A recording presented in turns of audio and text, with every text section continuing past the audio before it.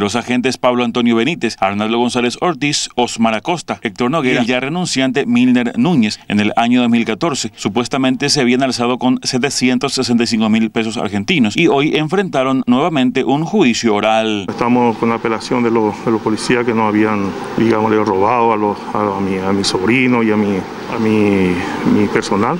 Todos nos acordamos de ese tiempo, que un día muy difícil que vivimos todos, porque con la actuación de la policía de la, 40 era ese tiempo, hace como 6, 7 años.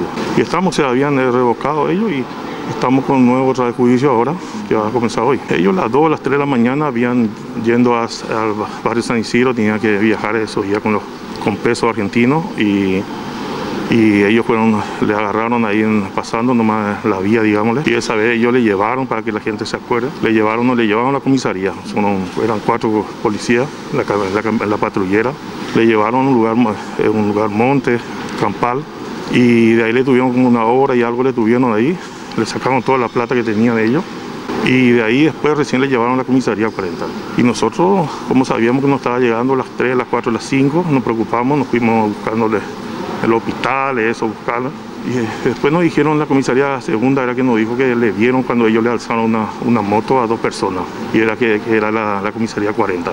Y de ahí nos fuimos a la comisaría 40 y ahí estaban ellos las 6, 6 y media de la mañana ya. Nunca ellos llamaron a la fiscalía, nunca nada de eso. Nosotros fuimos lo que llamamos a la fiscalía, la fiscalía vino, allanó el lugar, a la comisaría 40 allanó.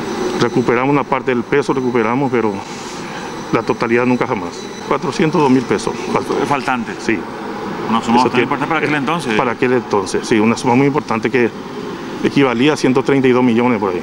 El día de la fecha estamos iniciando nuevamente un juicio oral en contra de estos efectivos personal policiales que ya en su momento tuvieron su juicio oral, eh, donde fueron condenados, fueron condenados a dos años con suspensión a prueba de la ejecución de la condena, se llama. Y con un, dentro de las medidas impuestas se le, se le impuso a ellos que devuelvan eh, en parte, ¿verdad? La suma que, que fueron despojados mis clientes, ¿verdad? Pero por resolución del Tribunal de Apelación se, procedió a la anulación del, juicio en sí, ¿verdad? Y eh, entonces se, realiza el reenvío, ¿verdad? Y el día de hoy estamos iniciando nuevamente buscando justicia para esta gente, ¿verdad? Que, que, es una causa ya de público conocimiento, ustedes sabrán, donde fueron despojados ellos de suma de dinero. Estamos hablando de 765 mil pesos argentinos. En ese entonces el cambio hacía mucho.